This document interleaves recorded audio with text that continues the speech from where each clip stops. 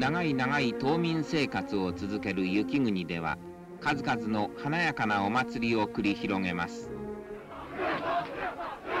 横手の梵天祭りは梵天を奉納し豊作を祈願するもの。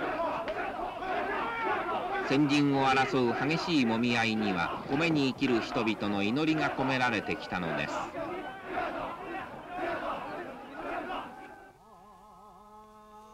秋田米の名で知られた東北屈指の米どころも冬の間は一切の生産活動が停止します。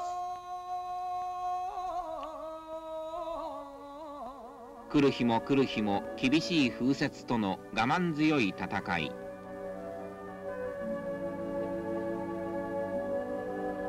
閉ざされた大地の中で人々は来るべき出来焼きの豊作をひたすら祈り続けてきたのです。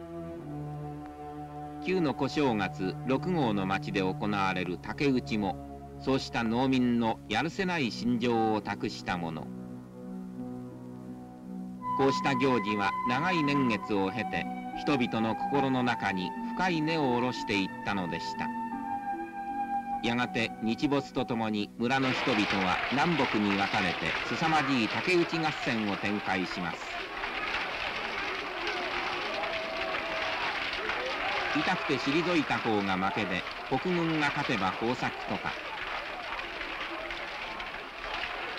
平素の知り人であろうと容赦なく打ち合うこの祭りには探索農民の執念が込められているのです。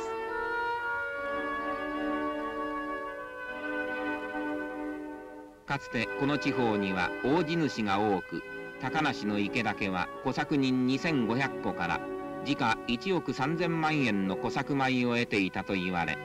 豪壮な西洋館にもその力を忍ぶことができます。戦後解放された人々は雪国の貧乏から抜け出そうと懸命の努力を重ねてきました。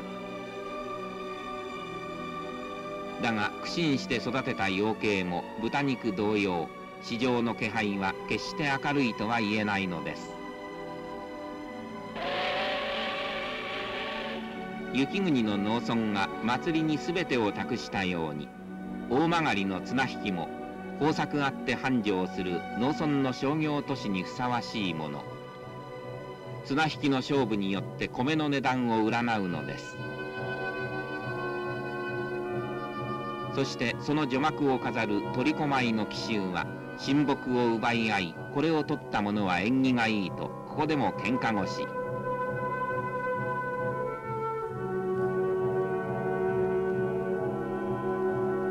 親睦のかけらを取った若い衆がそれを親方のうちに持ち込みご祝儀や祝い酒をもらうという昔ながらのしきたりです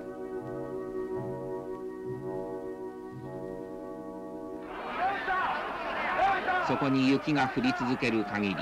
そして全身が阻まれ続ける限り祭りは人々の心の拠り所としていつまでも生き続けていくことでしょう。